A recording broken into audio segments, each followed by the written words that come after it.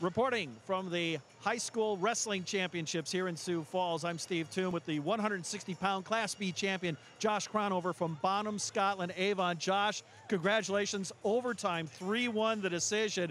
A little bit of controversy there as time expired in that third period. It was 1 0. You were trailing, but then you got an escape. The referees had to confer for a moment. What's going through your mind when you saw the two referees talking? I was pretty confident in the reversal there. They gave me the one, which I was pretty happy about.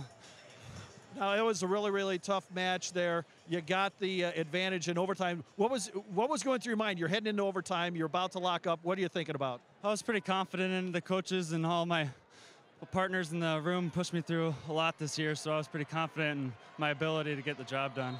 Now your team has had a pretty strong showing here, and I believe your brother's wrestling a little bit later on. So, uh, do you guys match up when you guys practice? Yeah, we have our we have our fights once in a while, and we push each other pretty hard. So it'll be pretty fun to watch him win his state championship there.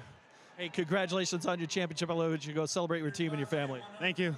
Josh Crownover from Bon Homme, Scotland, Avon. He's your Class B champion at 160 pounds. Reporting for South Dakota Public Broadcasting, I'm Steve Toom.